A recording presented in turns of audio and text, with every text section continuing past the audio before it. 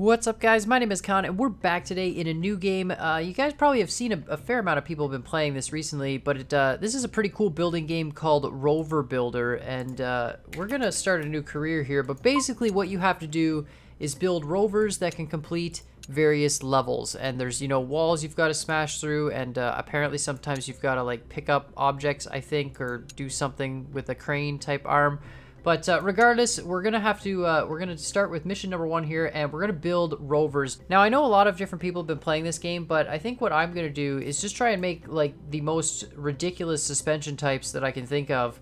Uh, because this game, the way you build, it's it's quite different from Scrap Mechanic. But you can see there, we can just sort of click and drag at uh, you know 45 degree angles with blocks, and then of course with suspension, it's actually the same thing. We can take it, uh, oh, okay, I guess I have to have steel first. But we can take our suspension piece here and uh, we can just drag it off there. And you see we have really just free range of motion with suspension. So I think we're gonna try and just make a, a vehicle with some interesting suspension types. So we have to go in that direction. So on the back, I think we're gonna do something relatively simple, but we'll just do some sort of basic uh, cantilever type suspension. So we'll just drag ourselves a little bit of a frame here. We'll go axle out there, axle out there. Okay, and then we're gonna go steel like this off the axle in one direction. And that'll go to the one wheel. And then this way, same thing, and that'll go to the other wheel. And this will go like this, and this will go like that. Just like super crazy, because why not? Okay, and then we'll go like this. See, perfect. Okay, and now we should be able to uh, just like that. Yeah. So like if we start and uh, this should hit the ground. Yeah, and that's gonna that's gonna flex. Okay, so now we can put some wheels on the back there. Return to garage here. Uh, and we're just gonna put some extenders on the sides. It's got definitely a lot of depth to it in terms of like what you can build. I mean, it's relatively uh, simple, the amount of stuff you have. We've got pistons, springs, axles. So basically axles would be your bearings and springs would be your suspension and pistons would be, well, your pistons. Uh, I don't really know the difference between the link and steel yet. I think a link is sort of free floating and steel is not. But uh, we're going to have to see here. I might have to put more suspension on this. We got to do the front section now. I realize I made that a little bit long. It's, it's going to be quite long, but uh, that's okay. And uh, to do the front section, we have to do some steering too. But on the front, I think what I want to do is uh, some really some really simple just uh, double wishbone suspension with steering linkages. Because I mean, you know, the double wishbone's pretty cool. It's a it's a very common method now in scrap mechanic. A lot of people know how to use it, and uh, it's definitely it's definitely a useful thing. And I thought, you know, if we do it in this, I mean, let's see if it even works. But let's let's try this. So the double wishbone is just like two stacked axles, right? And then uh, like this. Okay, perfect. And then we need some steel beams coming off here. Uh, yeah, like, I mean, it's going to be interesting. It'll probably take a little bit of a kick when it uh, when it first starts because that uh, front suspension will flex a lot, but that's okay. And then we'll, uh, yeah, it's to be, it's to be, I might have to drop the back end down a little bit, but we'll see there.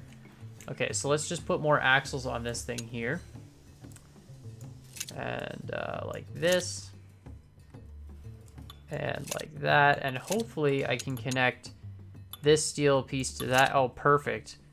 Okay, so if I've done this right, now we can just put suspension. Let's mount some, let's make some mount points here for this. Let's just go out to, whoops. It is a very good builder, I just suck. Uh, like, it's really intuitive in the sense that, you know, WASD walks you around and then, uh, you know, you can hold your middle mouse button to, to adjust your zoom and stuff. So it is very intuitive. I'm just, I'm just not very good at handling controls.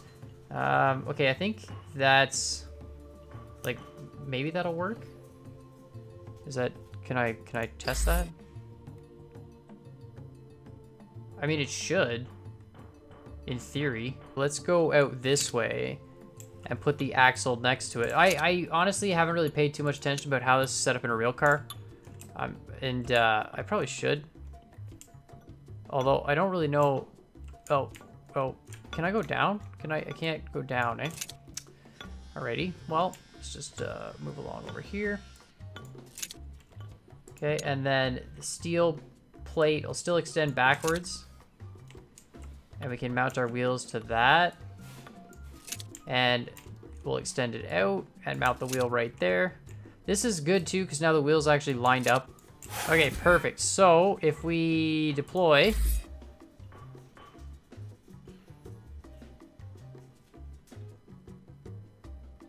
Man, that front end goes, like, super wide. We can almost put, like, dualies in the back. Alright, let's put dualies in the back, because, uh, clearly we've got lots of space. Can I actually double up wheels? Oh, I don't know if I can. Hold on. Can I build a steel beam coming out of this wheel, though? Oh, no, I can't do that either. All right, well, then the only other way to do it is to do this. This is going to look super uh, rover-like, I think, because we're just going to have this crazy... Yeah, perfect. I, I just really want, like, super wide dualies in the back. I feel like, you know, the extra power isn't going to hurt. Look at that. That's going to be awesome. It'll all be hooked up to that same suspension. We'll just, uh, we'll, we might have to beef that suspension up. Oh yeah, this thing's this thing's gonna be great. Yeah, we're definitely gonna have to beef that suspension up. Okay, all right. So now our back suspension is completely rigid. That's this looks sick. Okay, perfect. Okay, let's go. So now we just gotta finalize the steering mechanism, and then we're pretty much good to go. So steering in this game is uh, a little bit different than other games. Steering, you have to actually make a sort of uh, steering rack per se because the steering is just a, a, piece that moves along a steel beam. So I'm going to need to mount that right in here somewhere. So we're going to go out like this. And we're to go out like that. And then across. Right, so now we've got this crossbeam underneath there. And then our steering piece actually just mounts onto this like so if it'll let me. Too close. Really? Is it? Well. Alright, so I had to do a little bit of redesigning because I realized I put the rover body too close. But basically what we've got here is we've got the double wishbone on the front here. You can see by these, these two bars going up with these single suspension pieces attached to those. So those should keep the wheels parallel. And then we've got these two steering linkages which come down on either side and uh, that will push, when this little device moves left or right, that will push these wheels left or right. And then on the back, we've just got way too many wheels with some crazy sort of cantilever almost type suspension where we've got a pivot point here and it'll kind of push on this angle. So hopefully this rover will pretty much conquer just about anything these first couple worlds will throw at us. So let's uh, let's just try this here. Oh boy, that um, it definitely it definitely collapses. I mean, it definitely works. The uh, the double wishbone is not ideal in this game. I don't know. It, this thing is so bouncy, but it turns. I mean, look, we can see there it's pushing, no problem, and it does turns, but it's definitely bouncy. It's uh, it's very. Oh man, look at the. Yeah, it does. It does not like the. Uh, oh, hello. Hello, back wheels. Hi. Do you wanna... Do you wanna not? Oh, the suspension imploded. Oh, it's imploded. Okay, hold on.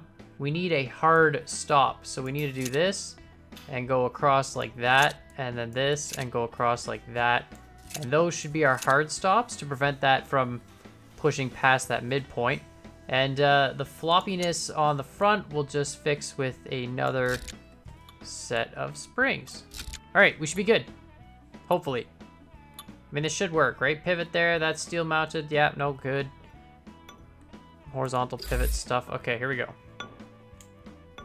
Okay, turn to the left. Perfect. Turn to the right. Awesome. It's looking good. Yeah, no, it's definitely it's definitely squishy. I mean, I don't think the game necessarily likes um, likes complicated suspension. I'm definitely gonna try other types of suspension too. Uh, my, my double wishbone mechanism, though, might be just slightly flawed because I did use it on a 45 degree angle. Maybe I have to build it horizontally, but you know what? For now, we're gonna try this rover out. So we're gonna uh, take her onto the onto the terrain here, and uh, we'll see how she does in the world. All right, come on, teleport. All right, let's do this. I mean, it's definitely it's definitely fluffy suspension. It, it fluffy. That's such a weird way to describe it, but I mean, we can see here, just, just you know, it just takes these bumps, no problem. I mean, look at that. It just, it completely hugs the train. But those wheels, those uh, double wishbone, maybe they need a hard limit too. and that would fix the problem. But I mean, look, we're gonna we're gonna beat this no problem. Time taken one minute thirty six seconds. All right, let's go on to the next mission. And uh, oh, okay. All right. Well, seeing as how the first mission's pretty easy, and the second mission seems to be uh, more of just driving. You know, we've got to go around some craters in here. We're gonna use the same rover to do the second mission, except I'm gonna put a hard limit on the front. So we're just gonna we're gonna spawn in that rover here. Perfect. I really like this, but I'm gonna hard limit these front ones. It seems the front uh, the front little double wishbone mechanism here was uh, going too close together and it was causing this weird like you know bottoming out thing to happen so let's see if we can just hard limit this just like that yeah and we'll turn that into like some sort of a little bit of a push bumper looks awesome all right this is looking good we got hard limits on the back hard limits on the front and uh, we're going to uh, just uh, go ahead and try this next mission out definitely getting some aggressive camber on those front wheels. All right, here we go down this hill. Oh yeah, that's that's much better with that hard limit because then they can't go. I don't think I got it stuck though. No, they'll. oh god, the wheels just imploded outwards. I think the game doesn't appreciate the uh, the double wishbone mechanism as much as Scrap Mechanic does, but uh, just conquering everything. All right, can I can I rotate my camera here? Okay, yeah, no, it's good. Let's go this way. Uh, where? Oh, we got to go up over here. Okay. Come on. Look at that. It's hilarious.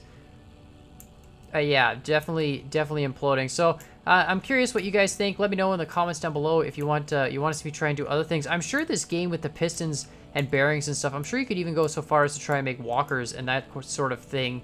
Uh, very similar to the way you do in Scrap Mechanic. But what I really, oh, perfect. What I really like about this game though is the uh, just the fact that there's a lot more flexibility in what you build just with the angles that you're able to achieve and uh, you know it's all going to be like purely mechanical stuff but let me know in the comments down below what you guys want to try and build i am going to keep going with the missions obviously i think the next mission involves going up some ledges or something like that or uh, or maybe it's like uh, smashing through a wall or something. I'm not sure, but there's definitely more objectives to be had in this game than just driving around. So make sure you guys hit that like button down below and hit that subscribe button if you haven't already. And of course, let me know what your ideas are and thoughts are about this game. And uh, go check it out on the Steam page if you're interested. But uh, make sure you guys hit those buttons down below. And as always, I hope you guys enjoyed this video, and I'll see you all next time.